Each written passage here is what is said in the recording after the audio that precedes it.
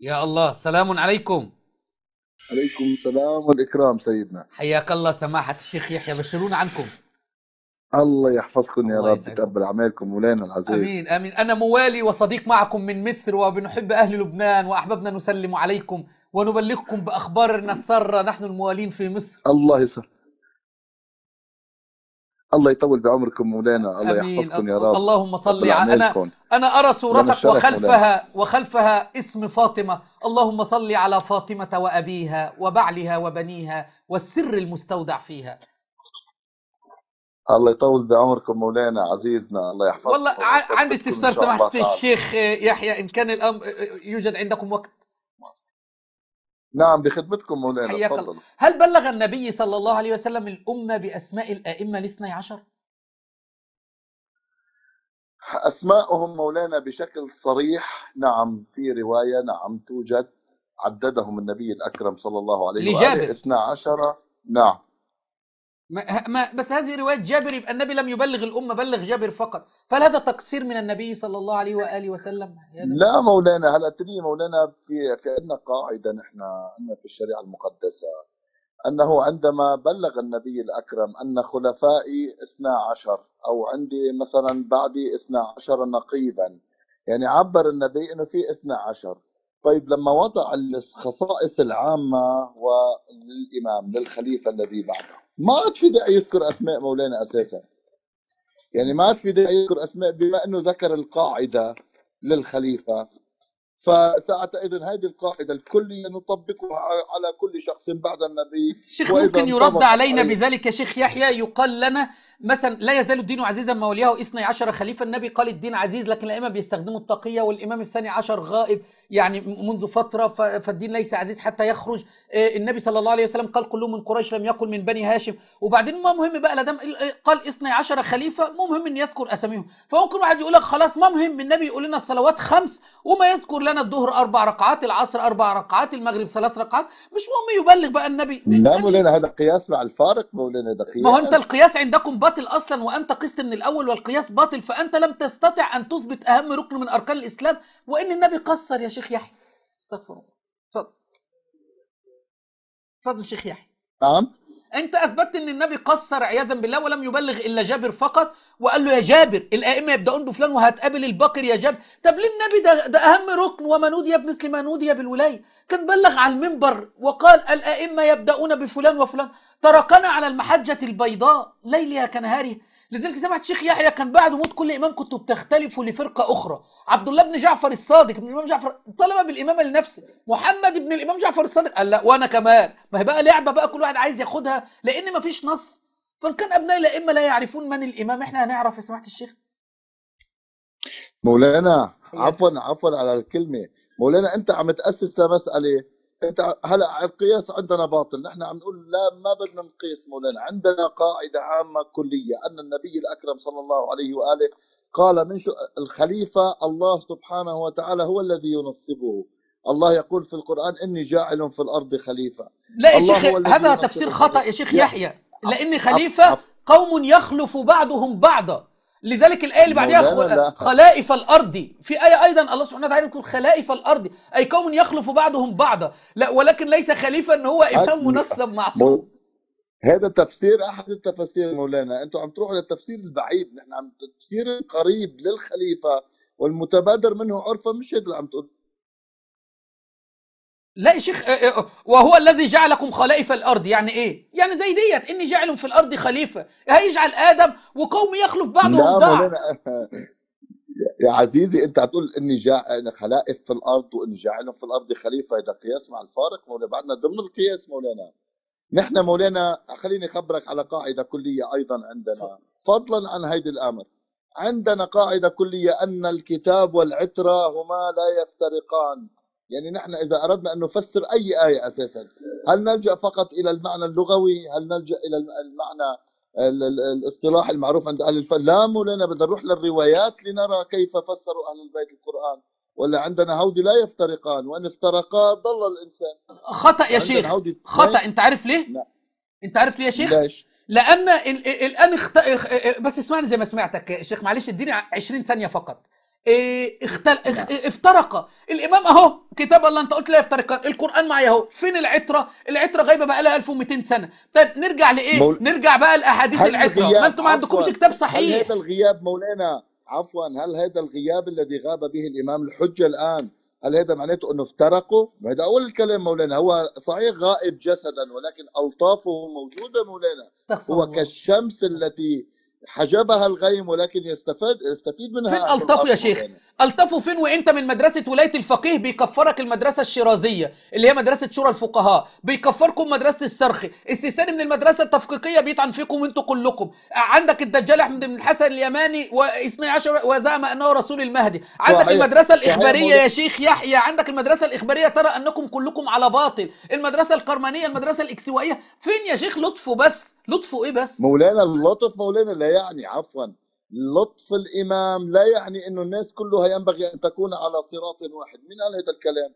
وقت زمان النبي مولانا كانت الأمة لا لا لا كان نهج النبي صلى الله عليه وسلم الأمة إيه؟ فين إمامك دلوقتي؟ طب الإمامك إخباري ولا أصولي؟ الإمام مهدي إخباري ولا أصولي؟ مولانا أنت عم تروح للمصاديق مولانا ما الإمام هو عرف الإمام علم الإمام إنه نحن لسنا بمعصومين وسوف نختلف. ولكن بالنهايه بالنهاية لابد للإنسان من أن يرجع إلى رواية أهل البيت. ما روايه بقى يا شيخ الله أكبر جميل قوي. علم الإمام أننا سنختلف. امال فين القرآن والعتره نرجع لمين في اختلافنا. قلت لي نرجع للروايات. نقول لكم تقولوا لا يوجد عندنا كتاب صحيح. نرجع لروايات النبي. ما عندكمش لروايات النبي. كتاب الكافي فيه أكثر من 16000 رواية 92 رواية فقط عن النبي صلى الله عليه وسلم ومعظمها ضعفها البهبودي. والمجلس في مرآة العقول تحدث عن كثير منها. فأنتم ما عندكمش روايات. كل ما نمسك رواية ون- ونلزمكم بها تقولوا لا يوجد عندنا كتاب صحيح. ففين يا سماحه الشيخ يحيى لا يوجد عندكم كتاب صحيح. مولانا أنت عم تناقشني أنت أنا ما فهمت انت أنت عامل برنامج وعم تناقشني ولا شو؟ يعني انت أنت ما بعرف والله يا شيخ أنا بس الآية إني جاعل في الأرض خليفة إما نفسرها من القرآن وهو الذي جعلكم خلائف الأرض فخلف من بعدهم خلف ويجعلكم خلفاء الأرض ولو نشاء لجعلنا منكم ملائكة في الأرض يخلفون. فكل ده قوم يخلف بعضهم بعض وليس الإمام إني جاعل في الأرض خليفة. لكن تفسير مولانا هذا تفسيرك أنت ما أنا مولانا جبت لك ت- سبت تفسيري وتفسيرك وفسرت لك القرآن بالقرآن أهو. جبت لك ولا حوالي ست آيات فيها هو. لذلك الملائكة أتجعل فيها من يفسد فيها ويسفك الدماء فعرفت الملائكة إن هم قوم يخلف بعضهم بعضا مش إمام معصوم ولا أي حاجة. مش إمام معصوم مولانا الملائكة عشو استفهموا مولانا؟ الملائكة ليش قالوا أنه أتجعل فيها من يفسد فيها؟ ليش قالوا لأن أرادوا إن هذا الجنس قد يفعل ذلك وكانهم علموا ذلك بعلم خاص من الله تبارك وتعالى وكانهم علموا طيب إن عاد سلمنا معك. سلمنا معك مولانا أنهم علموا بعلم خاص أنه سوف يفسدون في الأرض. طبيعي جدا. بعلم خاص أو بأمر آخر يعني مش مش بحثنا ولكن بحثي أنا هون لما قال لهم إني جاعل في الأرض خليفة أيعقل مولانا أن يكون الخليفة الذي جعله الله في الأرض هو مجرد إنسان ولا لا؟ خليفة معناتها يخلف الله سبحانه وتعالى في إرساء حكم الله في إرساء شريعة الله. خليفة بشو مولانا؟ ما أنا قلت لك التكريم. خليفة الله سبحانه وتعالى كر... ما ربنا قال ولقد كرمنا بني آدم. فهل ربنا كرم المؤمنين فقط ولم يكرم الكافرين؟ لا كرم الجميع. كرم بني آدم أجمعهم. ش... ذلل لهم الأرض وجعل الأرض بساطة. و...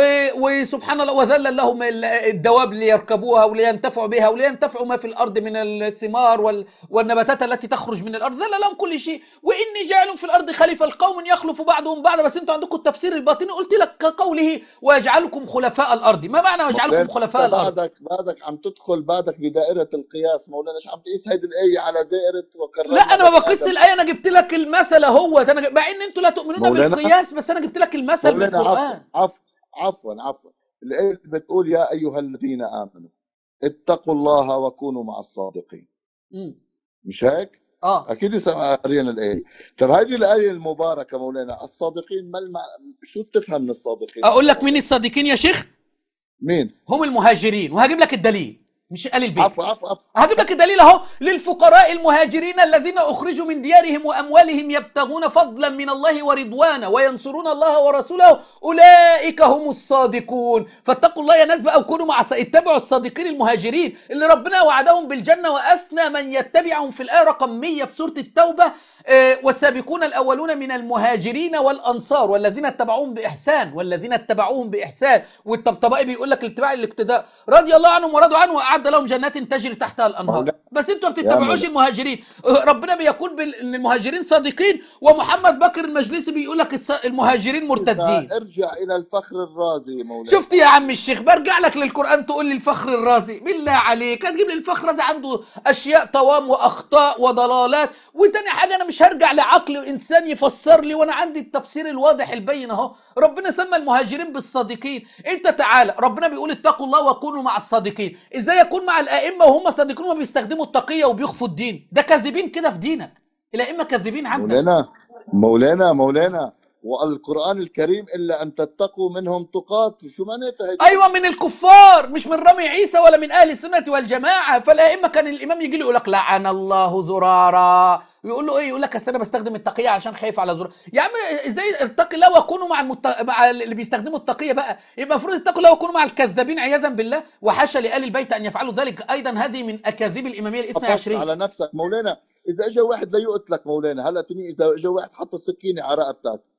عرفت علي كيف؟ وقال لك افعل كذا. وهذا اللي فيه مصلحة أهم أن تحافظ على روحك. أستخدم التقيه بتقول له لا بتقول الكلمة مولانا وما بتحافظ صح. على روحك. كده لا لا هستخدم التقيه طيب أنت إيه رأيك في عائشة أم المؤمنين؟ عائشة زوجة النبي. ما سألتكش ما أنا أنا قلت لك يا زوجة إبراهيم أو زوجة سليمان ما أنا عارف. إيه رأيك فيها؟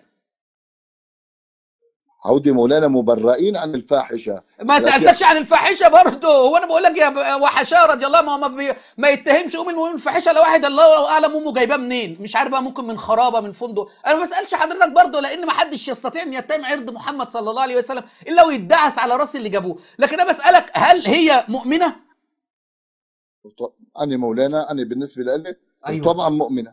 الله أكبر. طيب قل ال- آه آه أنت الآن الشيخ أبو يحيى في بث مباشر بيستمع إليك المئات قل اللهم احشرني أنا الشيخ يحيى وحسن نصر الله مع أم المؤمنين عائشة مولانا عزيزنا. حبيبنا، خليني آه. أيوه يا مولانا يا يا مولانا يا عزيزنا ما تحرجنيش. يا مولاي يا عزيزنا بتستخدم التقية اهي. ما يبقى إزاي اتقوا الله وكونوا مع الصادقين وانتوا بتستخدموا التقية. يا ابو يحيى ملهاش ملهاش ديل. الكذب ملوش رجلين زي ما إحنا بنقول في مصر. فانت استخدمت التقية اهو. ومن شوية بتقول لي اتقوا الله وكونوا مع الص- الصادقين هم المهاجرين وهم الأنصار. وكما وصفهم الله تبارك وتعالى. نصيحة لك يا ابو يحيى والله دعك من هذا المعتقد. اللي شوف ملتوي يا عيني. ملتوي صادقين. حتى انت قلت لي سكينة ويضع على رقبتي. انت ما فيش سكينة هو. واستخدمت التقية. عموما أرجع وأقول لك النبي لم يبلغ بأسامي الأئمة عندكم ومعتقدكم كله مخالف للقرآن الكريم يا أبو يحيى وأنا لك ناصح آه أنت والله. يعني أنت جاي أنت جاي تثبت عقائدك هاي وتتهم بدون ما تسمع مولانا. شو هال شو هال شو الطريقة مولانا؟ يعني جيت أنت أطلقت علي كان هائل من الاتهامات اتهامات وآيات وآيات وآيات أنا ما انت ما ما تركتش مجال أساسا فتحت ألف موضوع وما تركت مجال أنت سلني عما تريد. تفضل. بشكل موضوعي تفضل يا أبو يحيى. سلني عما تريد أو تكلم فيما حوار تريد. مولانا عزيز. تفضل. إذا. ما أسلوب حوار؟ أنت ما منك عم تستخدم الموضوعية؟ أنت حضرتك فاتح على بث مباشر. هلا أول شيء ما قلت لي هذا أول شيء. اصل أنا مش لازم أقول لك لأن إحنا إن شاء الله ما بنتكلمش في حاجات قلة أدب. ده إحنا بنتكلم في دين وبتاع وكده. مولانا صار لك ساعة بت- بتزت بتزت كلام بتزت كلام. بتقول لي هيدي هاي تفسير هاي هاي تفسير هاي. وفت بألف موضوع مولانا. آسف أنا مجال- آسف وتفضل أنت تكلم فيما تريد أو اختار الموضوع اللي تريد أو سلني عما تريد. وأنا أقول لك إن أنا بقتدي بسيدي ومولاي أمير المؤمنين علي بن أبي طالب وأقول لك سلوني قبل أن تفقدوني. سلني عما تريد. أفا سكر خط وهرب أبو يحيى. مولانا مولانا أنت عم بتقول لي مولانا ما بتخبرني انها في البث المباشر. ما بيستخدم التقية ليه يا أبو يحيى. والله معتقد ضعيف معتقد هش. وها هم سادات الشيعة ومشايخ الشيعة في بيروت في لبنان. الشيخ المسمى بيحيى علي. الآن لا حول ولا قوة إلا بالله. بدأنا بالحظر عمل لي حظر ورب الكعبة. عمل لي حظ. ليه؟ لأنه صدم إن هو في بث مباشر وهو كان بيستخدم التقية وكشفت التقية ولم يستطع إثبات تنصيب الأئمة الاثني عشر ويتلاعبون بالقرآن إني جاعل في الأرض خليفة أي الإمام المهدي الأئمة الاثني عشر والأئمة المعصومين. أجيب له آيات من القرآن يقول لي لا تفسركم وكونوا اتقوا الله وكونوا مع الصادقين. ما أنتوا تستخدموا التقية. صادقين مين بس؟ كان معكم شيخ الشيعة بلبنان يحيى علي نسأل الله أن يهديه وأن يأخذ بيده إلى نور التوحيد. أيها الحبيب عشان تدعمنا والقناة ما تقفش سوي إعجاب وشارك الفيديو في أكثر من جروب ولا تنسى تفعيل الجرس كي يصلك كل ما هو جديد.